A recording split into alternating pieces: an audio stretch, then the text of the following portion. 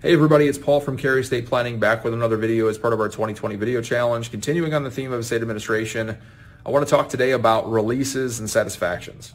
So after creditor claims are paid, after you've actually cut the check and mailed it to the creditor and they've cashed it and they've basically satisfied their claim against the estate, they generally should or you should be requesting what's called a satisfaction or release of their claim that sort of evidence is basically being submitted to the clerk of court to show that the, the debt is no longer outstanding, that the claim is resolved. But it can't just be your word, or it can't just be uh, generally the uh, bank statement showing a cash check. It needs to be an acknowledgement from the creditor saying that we've been paid, we no longer have a, a claim against the estate.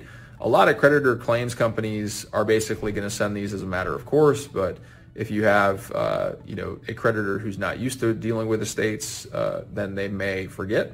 So it's something that you have to stay on top of. This has to be submitted uh, with the final or prior to the final being uh, submitted in order for the estate to be shut down. This is Paul from Cary Estate Planning.